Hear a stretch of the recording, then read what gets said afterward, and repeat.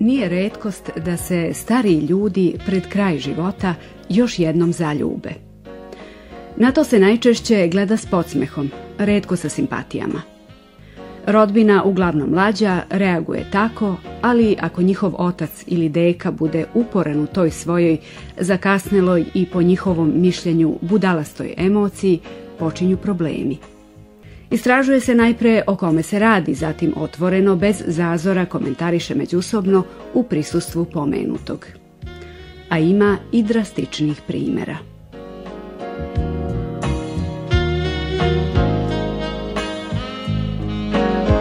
Gospodin M, 83-godišnji udovac, zapazio je gospođu B u crkvi. Viđao ju je tamo nedeljom i istinski se zaljubio. Posle izvesnog vremena usudio se da ju se obrati. Nije bilo ljubavne izjave. Gospodin M bio je uzdržljiv, pristojan čovjek. Ubrzo su počeli da se viđaju i u drugim prilikama. Otišli bi na kolače ili bi prosto prošetali.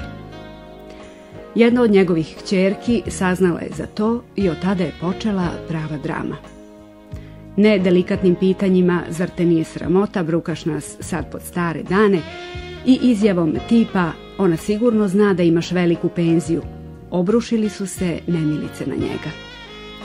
Uzaludna su bila uveravanja da ona također ima penziju, da živi solidno, da ga prosto voli. Počeli su da mu prate svaki korak, a onda zabranili i nedeljni odlazak u crkvu.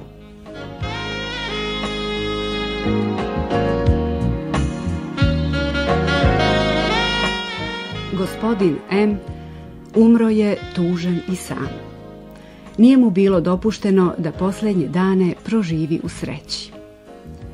Njegova deca redko posećuju njegov sadašnji dom. A i zašto bi? Velika penzija prestala je da pritiče. Zato i ne znaju da jedna starica svakoga dana drhtavom rukom položi cvet na njegov grob. U prilog ekologiji duha Dušica Popović.